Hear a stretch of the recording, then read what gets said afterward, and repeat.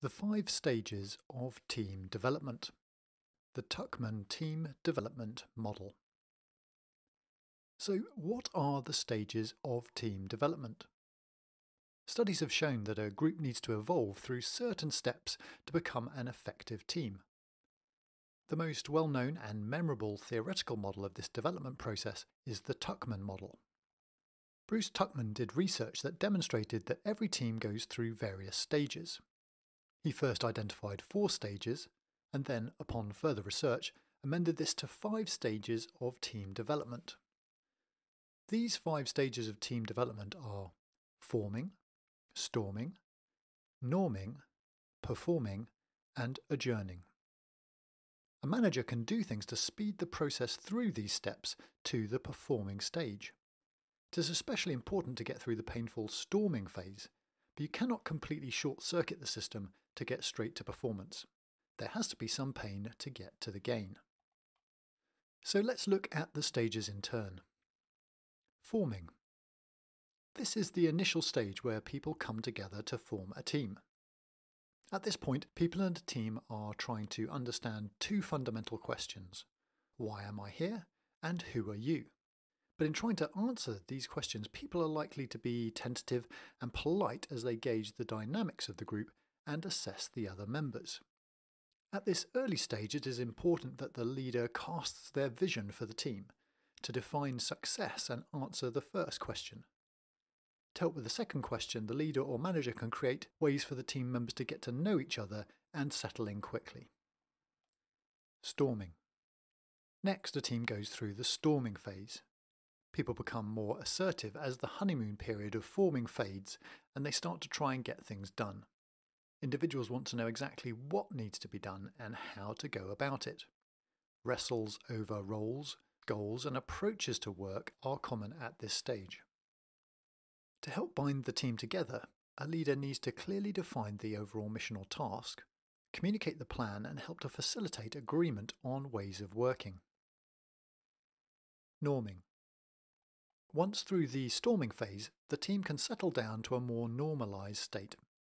Here, the primary concerns are those of management, the questions of who does what, when, and where.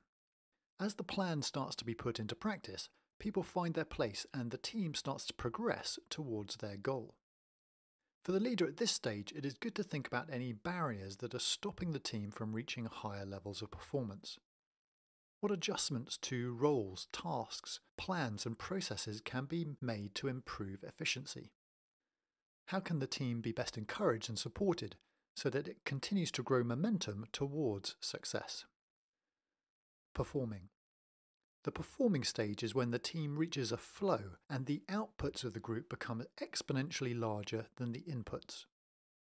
To get to this point, there needs to be an interdependence within the team, a level of trust that allows people to stretch their limits or find new and creative ways of doing things. The leader needs to cultivate a supportive environment, one of personal development and psychological safety, that allows people to grow and experiment. The danger for a leader at this stage is to become complacent. So, a good boss should always help the team to reflect upon three questions What should we stop doing? What should we continue doing? And what should we start doing? In this way, the team can continue to learn and improve.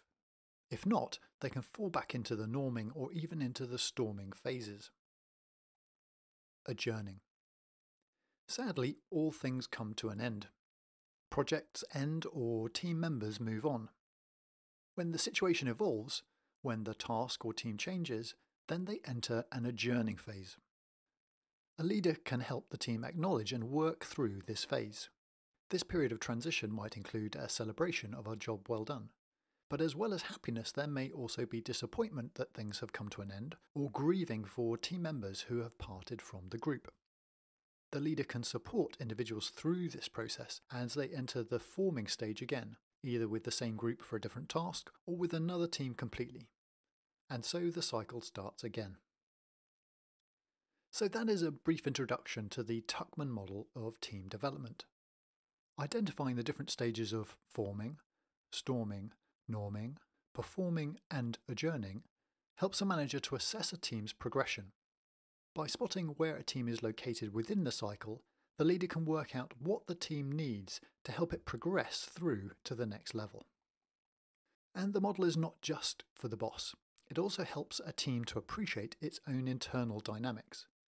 A team with a common understanding of their progression is better equipped to propel itself more quickly through the different stages, particularly the storming phase, as it gives a shared perspective on why things might be difficult. Once people realise this phase is normal, it becomes less personal and they can focus on solutions rather than frustrations. If you would like to find out more on this subject or about other leadership models and decision making tools, then click on the link or head over to the website at www.therightquestions.co.